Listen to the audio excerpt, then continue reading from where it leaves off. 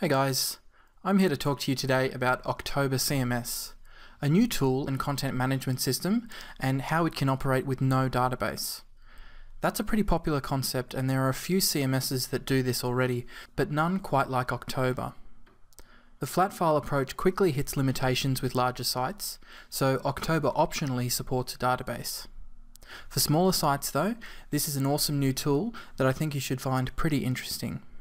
Okay, so the first thing you want to do is create an empty public web directory somewhere, either in Apache or whatever your web server is, and then run this command in your console. And what this will do is it'll download all the October files um, that are ready to go straight away. So once that's finished, we can test that October is working and navigate to the web address. And this is the demo theme that comes with October. For our website, we should create a new theme. So we'll add a new directory in the themes folder here called website, and then navigate to the config, which is under config CMS, and change the config value active theme to the new theme that we've just created called website. So it's just the same name as the folder. So now when we hit the page, we see this generic page not found uh, system page. So what we want to do next is create a new pages folder inside our website theme and then inside there create a new file called index.htm. So you might be familiar with this type of template if you've seen static site generators. Uh, the configuration and markup are separated by the two equal signs here. Now at your web address you should see the hello world message instead. Setting up a page that's used when no other page can be found is just as easy. We just create another file here called 404.htm and the important part about this page is the 404 URL. So this is what will be shown when you try to open a non-existent web address. So you can see we're already set up in just a couple of minutes.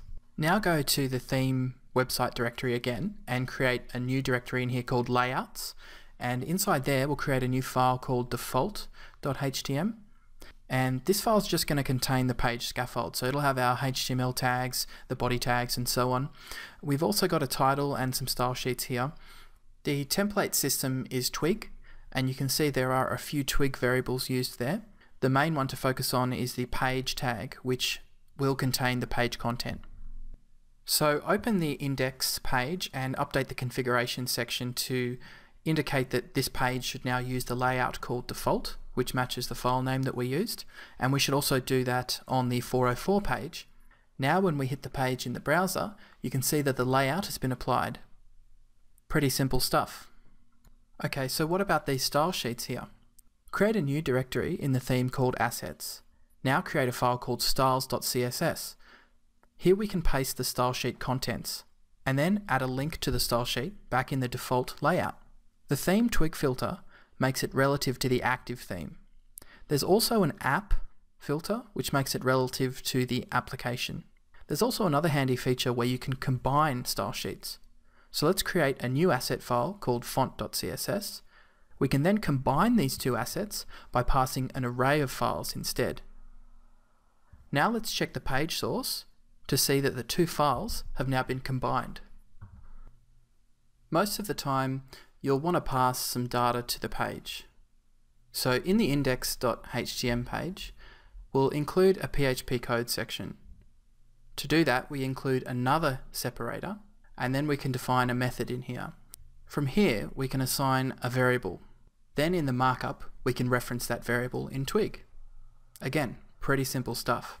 You can include some opening and closing PHP tags if you want to activate syntax highlighting, but these are optional. Most of the time, you will like to keep your PHP code separate from your view content. And in these cases, it is more common that we use components, and the page will look something more like this. Don't be too concerned, because this is another story for another time. For now, we'll just keep it simple, all in one template. Now create a new directory in the website theme called partials. In here create a new file called footer.htm.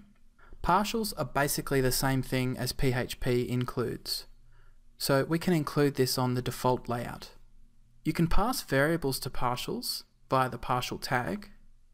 This will make the variable available inside the partial markup. October has another type of include called content.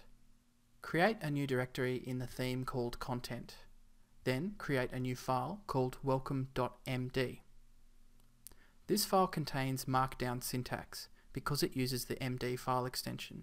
The extensions HTM or HTML and TXT for text can also be used. Now let's create another page called About.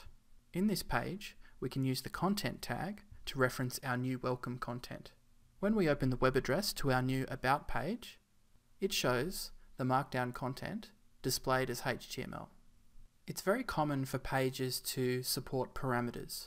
So change the configuration section to include a file name parameter in the URL. Now the About page web address will return 404 because it expects a file name. We can make the parameter optional by including a question mark at the end. The value of the parameter can be accessed in Twig by using the thisParam variable. We could even pass it to the content tag to make the content dynamic. Now the content is shown based on the value entered in the URL parameter. Of course, it would be a good idea to sanitize the value in the PHP code. This is done by using the thisParam again, except this time in PHP. We can also pass a default value as the second argument. Then we can pass the value back to Twig. The code section controls the page lifecycle. There are other methods too, like onInit and onEnd. If a value is returned from one of these methods, it is considered as a response. So if we return not found from our method, that will be sent directly to the browser. So now when we open our page without welcome as the file name, it returns not found. It might be a better idea to return a redirect instead, and we can do that with the redirect facade and say redirect to 404. Now I'll show you how to create some links. Open the footer partial and we'll include some links in here. The twig filter called page accepts the file name as the value and outputs the page URL. So if we change the URL of the index page to something different, now the home page is gone, but at the same time, the link is preserved. See the footer link? Return home has now changed to the new URL that we specified. Linking can also support passing parameters. So on the About page, we can pass the file name parameter as anything we want. Now see the footer link? About Us now includes the welcome parameter. October finds a nice balance between using a heavy system like WordPress, which you may not always need, versus creating a site in just HTML. All of the twig tags that we used can be found in the documentation by selecting Markup Guide. Be sure to watch some other screencasts that cover other modules such as creating backend interfaces and using the Ajax framework. So that's everything. Thanks for watching guys and grab yourself a copy and play around and see what you can do with it. It's definitely a platform that I certainly enjoy using myself and I'm sure you will too. So until next time, goodbye.